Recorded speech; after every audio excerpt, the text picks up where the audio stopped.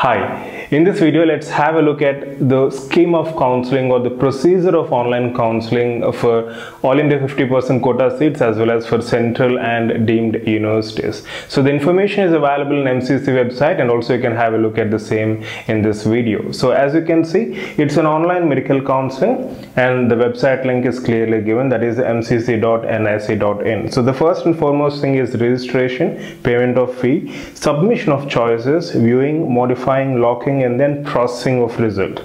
So there will be first round allotment of seats followed by second round of seat allotments. So in first round you can see if the seat is not allotted so this will be the consequences. So after the round 1 ends fresh registrations for round 2 starts. So new candidates and free exit candidates of round 1 are eligible to participate in round 2 and already registered candidates of round 1 need not register again.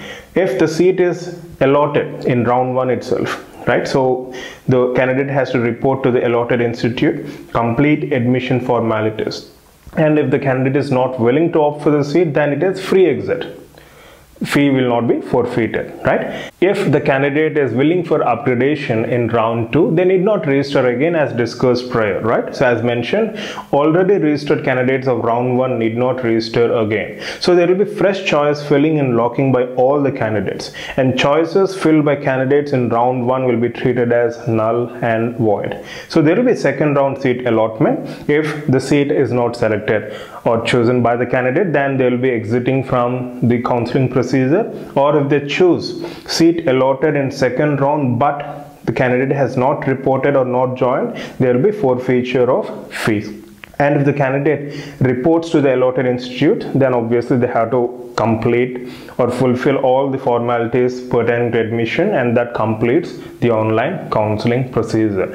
If you look into the scheme of online counseling procedure in case of 100% deemed or central university seats again the procedure is more or less the same. However you have something called as mop-up round so this is the scheme of online counseling or the procedure for online counseling in AIQ 50% seats as well as in 100% central or deemed university seats. So wait for more instructions from MCC website. Also keep a tab on NAT board website and nbe.edu.in website. I'll be sharing the links in the description part of the video. And also if at all there is any update from these websites, we'll get back to you as soon as possible. Right? So it's a very simple procedure. Don't panic just make sure that you have your options open so that you can submit your choices accordingly based on your passion towards a particular specialty right? So wish you all the best. Love you all. And for any further queries you can always get back through mail 24 by 7